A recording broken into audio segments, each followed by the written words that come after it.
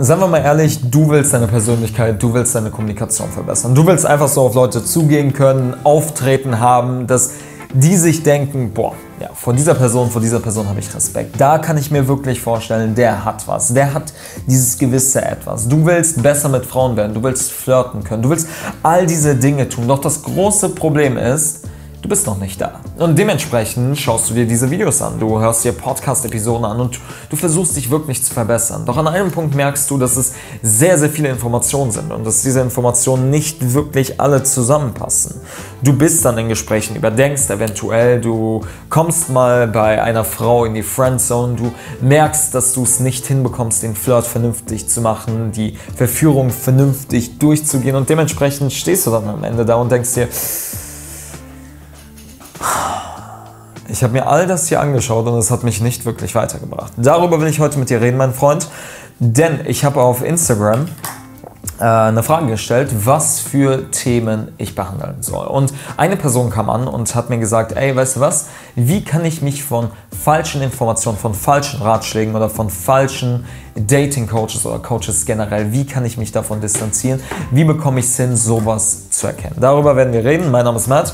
Ich helfe viel beschäftigten Männern, die richtige Frau zu finden, sie zu behalten und letztendlich seine eigene Zeit nie wieder mit Unsicherheiten oder der falschen zu verschwenden. Heute mit dem Thema die toxische Seite von Persönlichkeitsentwicklung. Ein Insider packt aus, denn ich werde dir meine Erfahrungen, die ich in den letzten sechs Jahren holen konnte, die werde ich dir geben. Und es wird nicht alles Friede, Freude, Eierkuchen und einige Leute werden sich echt an den Kopf gestoßen fühlen. Aber es ist wichtig. Für weitere Informationen, für mehr Content über Dating, über Charisma, über Präsenz, über all diese Dinge, über dich als Mann, wie du dein volles Potenzial bekommst. Abonniere den Kanal, daneben, du findest eine Glocke.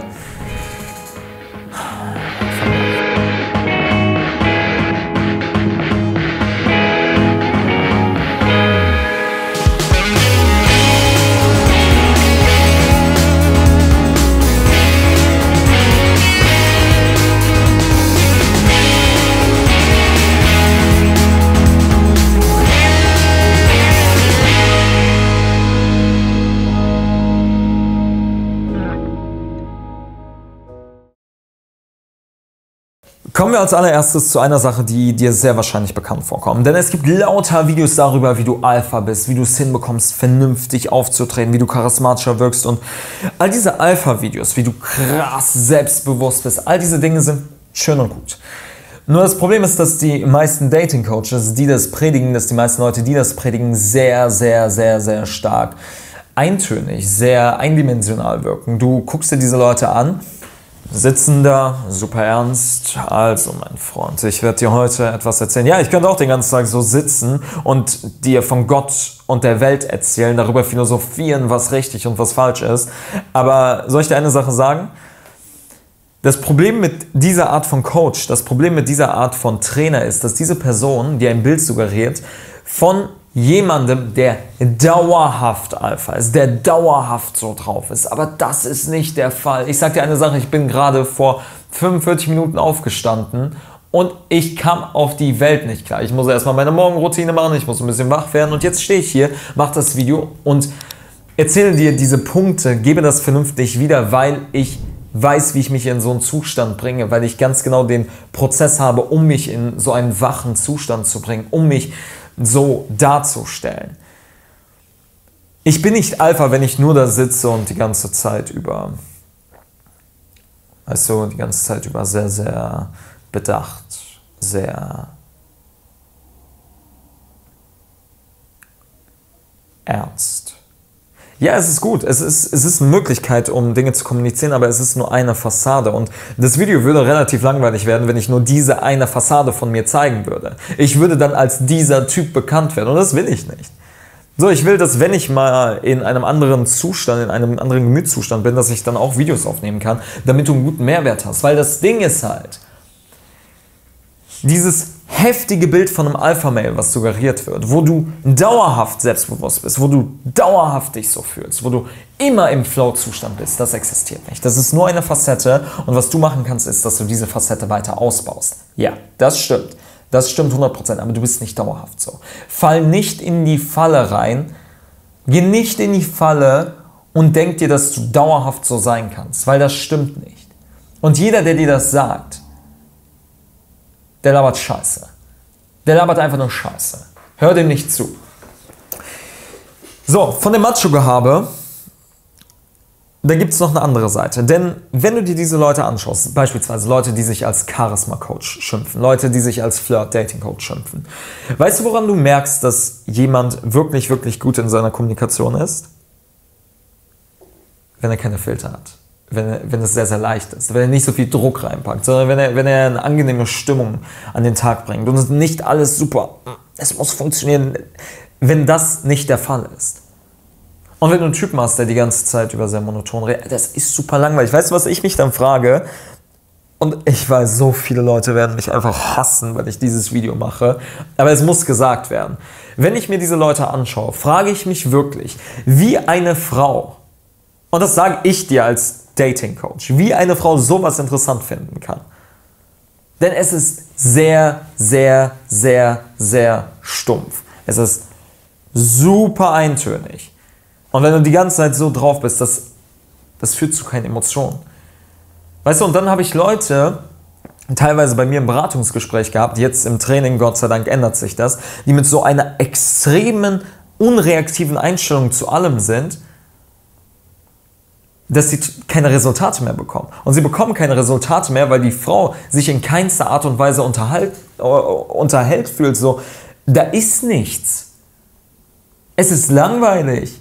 Es ist immer das Gleiche und es sind immer diese mm, mm, mm, gleichen Themen. Aber wenn du plötzlich merkst, so, okay, die Person kann verschiedene Tonlagen haben, die Person weiß, wie sie sich artikuliert, wie sie vernünftig die Gestiken zeigt. Wenn du das alles hast, das, das wirkt dynamisch, das wirkt interessant. Ich meine, du zum Beispiel, du guckst dir dieses Video an und du weißt, dass wenn ich mit dir rede, ich versuche nicht großartig deine Aufmerksamkeit zu bekommen. Nein, ich versuche dich zu unterhalten und das tue ich, indem ich mich selber unterhalte. Das tue ich, indem ich die Punkte klar mache und wirklich Dinge erzähle, an die ich glaube. Und in dem Moment, wenn ich das tue, merkst du das. Du merkst das. Oh, aber wenn eine Person da nur so sitzt und sagt, ja, das nächste Video ist darüber und dann mache ich das und dann mache ich die. Das ist so langweilig, das ist ein Toastbrot. Da ist nichts drauf. Du sollst dich generell von Toastbrot fernhalten, weil es ist nicht gesund. Du weißt aber, was ich meine. Ist wahrscheinlich jetzt nicht die beste Metapher gewesen. Du weißt, was ich meine. Es ist sehr eintönig und das ist kein Ziel, was du vor dir haben solltest. So, jetzt kommen wir zu einer anderen Sache. Oftmals wird verkauft, dass es die eine Methode gibt, die dich dazu bringen kann, dass du deutlich besser mit Frauen wirst, dass du attraktiver wirst, dass du besser kommunizieren kannst. Und das stimmt nicht. Das stimmt nicht. Es gibt nicht die eine Methode. Denn das Problem ist, wir Menschen, wir lieben das Schwarz-Weiß. Wir wollen von A nach B jeden Punkt, jeden Zwischenschritt. Wir wollen das alles haben. Das Problem damit ist aber, dass wenn du versuchst, diese Schritte durchzugehen, wenn du versuchst, diese Schritte zu machen, du startest nicht da, wo jeder andere startet und dein Level ist ein anderes. Und dementsprechend ist eine Sache, die schon mal viele Leute versprechen, das hundertprozentige System, wie du es hinbekommst, das funktioniert so nicht. Jeder Klient bei mir bekommt eine individuelle Behandlung. Du kannst die Leute nicht in irgendeinen Videokurs stecken. Du kannst nicht erwarten, dass eine Lösung jedem hilft. Jemand, der extreme Schüchternheit hat, seit Jahren ein Problem damit hat, auf Leute zuzugehen, dem kannst du nicht das Gleiche an Aufgaben geben wie einer Person, die bereits besser ist, die bereits mit Leuten redet, die bereits gut ist. Das sind andere Ebenen. Du kannst einer Person, die noch Jungfrau ist, du kannst ihr nicht die Schritt-für-Schritt-Anleitung geben, die du jemand anderem gibst. Ja, es gibt eine grobe Struktur. Und die muss jeder durchmachen. Es gibt eine grobe Struktur, das stimmt damit du lernst, wie du die Kommunikation, wie du, wie du ein vernünftiges Gespräch hast. Das existiert, aber was du den Leuten eigentlich beibringen musst, sind Prinzipien und wie sie nach diesen Prinzipien äh, leben und wie sie das wirklich vernünftig in die Außenwelt tragen, wie sie eine Aktion tätigen. Ich hatte zum Beispiel damals einen Kunden, er war noch Jungfrau, ein sehr, sehr dynamischer Mensch, ein sehr, sehr dynamischer Mann. Und er hat mir gesagt, weißt du was, ich ziehe jetzt in eine neue Stadt, ich will neue Erfahrungen machen, ich will das einfach drin haben. Acht Wochen habe ich ihn gecoacht. Und es war jemand, der hungrig war. Es war jemand, der es wissen wollte, der es lernen wollte. Und nicht jeder ist auf diesem Level. Diese Art von Klient ist mein liebster Klient. Diese Art von Klient, der einfach sagt, weißt du was, ich will, ich will es einfach und ich werde die Arbeit reinschicken. Das ist die liebste Art von Klient. Aber du musst dir halt vorstellen, es gibt auch Menschen, die das nicht als oberste Priorität sehen, die andere Dinge in ihrem Leben zu tun haben und dementsprechend den Fokus auch auf andere Dinge haben und sagen, weißt du was, ich will das lernen, aber ich will es zeiteffizient machen. Das sind verschiedene Agendas. Dem einen kannst du mehr an Aufgaben geben, dem anderen musst du, du musst klarer machen, wie er das zeiteffizient macht, wie er das in seinen Alltag integriert. Und es ist immer sehr, sehr individuell. Ich habe teilweise Leute gehabt, die wirklich Jobs hatten, wo selbst ich mir dachte, zeitlich, ich würde es nicht hinbekommen, aber Respekt, dass du es hinbekommst. Und dementsprechend arbeitest du eben daran. Bei anderen wiederum arbeitest du überhaupt am Selbstbewusstsein. Beim, äh, bei jemand ganz anderem muss das Mindset erstmal stimmen. Das Mindset zu sagen, okay, weißt du was, ich sehe auch für mich irgendwie ein bisschen mehr und ich will auch an mir arbeiten, ich will auch was machen. Das sind alles individuelle Fälle. Ja, es gibt eine grobe Richtung. Ja, es gibt ein grobes System, mit dem du es Leuten beibringen kannst, aber du musst immer noch individuell auf deine Leute eingehen. Und das ist oftmals nicht der Fall. Du zum Beispiel, der sich dieses Video anschaut, ist, ist ein anderes Level, was jemand anderes haben kann. Du, du, du willst eventuell besser mit, werden mit Frauen, du hast noch nicht so viel Erfahrung. Das ist das Level, wo du bist. Jemand anderes wiederum will das Flirten besser lernen. Jemand anderes wiederum will die Technik im Date lernen, wie der es hinbekommt, wirklich letztendlich zum Resultat zu kommen zu Sex zu kommen. Jemand anderes will eine Freundin haben und will wissen, wie er diese Bindung tiefer eingehen kann. Das sind alles verschiedene Agendas. Du musst wissen, wo du stehst. Das ist ganz, ganz wichtig. Und dann dementsprechend musst du schauen, was der Coach, was der Trainer dir sagt und wo er dich einkategorisiert. Kannst du ihn noch anschauen und merkst du, ah, okay, da kommt Feedback, was auch in meiner Situation mir hilft. Denn beispielsweise hier auf dem Kanal, ich versuche oftmals sehr, sehr viele verschiedene Themen anzusprechen, damit ich eine breite Masse an Menschen wirklich erreiche.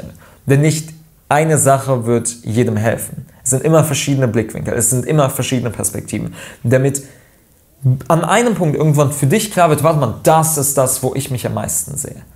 Damit es Klick macht, okay? So, du hast jetzt all diese Dinge. Wir haben das Macho-Gehabe, wir haben das Systemdenken, das Schwarz-Weiß-Denken, so nenne ich es auch. Wir haben die langweilige Art und jetzt haben wir auch die toxische ähm, Seite von Persönlichkeitsentwicklung. Denn das große Problem ist, viele Leute, die beispielsweise zu mir kommen, viele Klienten von mir, die haben so einen Eindruck von, es ist unglaublich schwer, es geht nicht, es ist unmöglich. Und weißt du, woran das liegt? Und das ist so ironisch, das ist so unglaublich ironisch. Das liegt daran, dass du dir all diese Videos anschaust und dass du aus diesem anfänglichen Problem von leichter Schüchternheit etwas so Großes gemacht hast, dass du von dem anfänglichen Problem von deinen Berührungsängsten so was Großes gemacht hast. Weißt du, und das Erste, was ich mit den Jungs mache, das Erste, was ich mit den Männern mache, ist, die verlernen so viel. Ich sage ihnen, vergiss alles, was du über Dating wusstest. Vergiss alles, was dir gesagt wurde, jemals. Guck dir so einen Scheiß nicht an, du hast das, was ich dir sage, mach einfach das und frag mich. Frag mich nach der Lösung. Weil das Problem ist, angenommen wir, wir nehmen das Thema Ansprechangst. Das ist ein sehr, sehr gutes Thema. Wir nehmen das Thema Ansprechangst.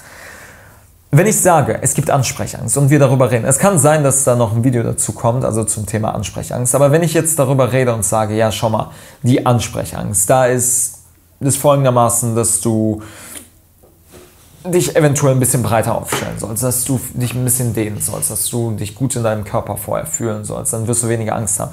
Je mehr ich über das Thema Ansprechangst rede, je mehr das passiert, desto mehr Angst wirst du haben, weil du das Thema überhaupt thematisierst, weil du, weil du diese Ansprechangst überhaupt thematisierst. So, und das hast du auf verschiedenen Leveln. Okay? Sinn der Sache ist, du guckst bereits zum Ende und dann ist jeder kleine Schritt relativ einfach. Aber du lernst es immer noch systematisch. Du lernst es immer noch so, dass es. Und ich werde jetzt mit einem kleinen Konzept kommen, was sehr, sehr interessant ist. Denn es gibt vier Schritte, wie du eine Sache lernst. Erstmal unbewusst, unbewusste Inkompetenz. Dann hast du bewusste Inkompetenz, das heißt bei der un unbewussten Inkompetenz, du weißt nicht mal, dass du schlecht in einer Sache bist. Dann wirst du dir dessen bewusst. Du wirst dir bewusst, dass du es nicht wirklich drauf hast. Dann lernst du es, dann lernst du diese Fähigkeiten, wirst besser. Dann ist das eine bewusste Kompetenz. Und irgendwann wird es eine unterbewusste Kompetenz. Und eine unbewusste Kompetenz. Und das ist die eine Sache, die ich den Männern beibringen will. Denn wenn du es instinktiv schaffst, musst du nicht mehr Dinge überdenken. Dann ist es relativ einfach, eine Frau kennenzulernen. Und dann hast du nicht mehr diesen Druck. Manchmal ist weniger mehr. Manchmal ist weniger mehr. Es gibt nicht dieses heftige System, mit dem du es hinbekommst. Ja, es gibt eine grobe Struktur, das stimmt. Sehe ich 100% ein. Aber wenn du jemand bist, der für jede Eventualität gewappnet sein will, hör auf, das, das ist Quatsch. Das ist super oberflächlich. Wie wäre es, wenn du die Prinzipien lernst? Weil wenn du das Prinzip hast, sind die Eventualitäten, die daraus resultieren, relativ einfach zu verstehen. Okay? So. Und das Letzte, was ich dir mit auf den Weg geben will, ist, Persönlichkeitsentwicklung ist schön und gut. Aber je mehr du dich mit Persönlichkeitsentwicklung beschäftigst, desto weniger beschäftigst du dich wirklich mit deiner Entwicklung. Weil je mehr Content du konsumierst, desto weniger wirst du wirklich tun. Wenn du dir sagst, ich will vernünftig das Ganze lernen, ich will das Flirten drin haben, ich will selbstbewusster auftreten, ich will meine Kommunikation, meine Persönlichkeit ändern, ich will besser werden, ich will, dass es nicht nur so halb drin ist, sondern dass es einfach mal drin ist, dass ich das vernünftig lerne, dass Leute individuell auf mein Problem eingehen und mir helfen, das Problem zu lösen. Erster Link in der Videobeschreibung. Trag dich ein zum kostenlosen Erstgespräch mit mir. Wir werden über deine gesamte Situation durchgehen. Wir schauen, wo dein Problem ist, was genau man da machen kann und wie du ein charismatischer, wie du ein deutlich, deutlich besserer Mann wirst, als du ohnehin schon bist. Erster Link in der Videobeschreibung trag dich ein. Wir sehen uns das nächste Mal. Vielen, vielen Dank, dass du zugeschaut hast. Das war ein wirklich, wirklich geiles Video. Dein Matt.